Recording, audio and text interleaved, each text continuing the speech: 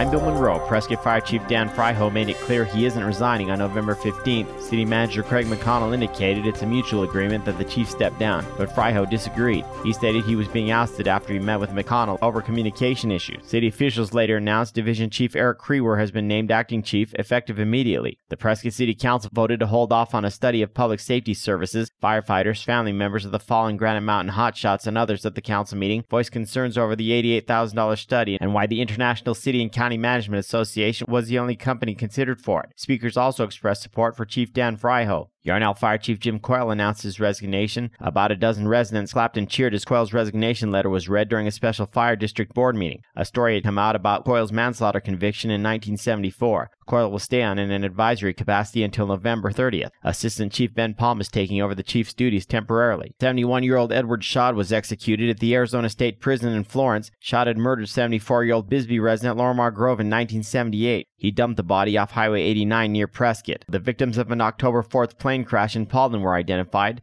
The six passenger aircraft took off from Bullhead City and crashed on the Gunsite Academy property. The victims were 57 year old James Parrish and his 54 year old wife Lisa, both from Terrell, Texas, and 65 year old Mike Hughes and his 63 year old wife Joy. The Hughes have homes in Aurora, Colorado, and Paulden. Mike Hughes was a range master who had taught at the academy since 1991, and the Parrishes had just completed their 16th class there. A plane crash at the Sedona airport resulted in serious injuries to Florian Riedel and Jordan Bochter. The pilot, Moritz Conrad, received minor injuries. The plane went 200 feet down the end of a runway. The three were German tourists who had rented the four-seater plane in Phoenix. A Yarnell Town Hall meeting hosted by Yavapai County Supervisor Rowle Simmons had attendance from State Representative Karen Fann and Senator Steve Pierce. Topics discussed during the meeting included cleanup and road repairs, flood control, and home reconstruction. And the Prescott Valley Town Council rejected two bids for the Civic Center expansion and bandshell project. The bids came in higher than expected, so the project will be rebid with a reduced scope. Redesign is expected to take two to three months to complete, with construction to follow next year. I'm Bill Monroe, and that's your KQNA News Week in Review.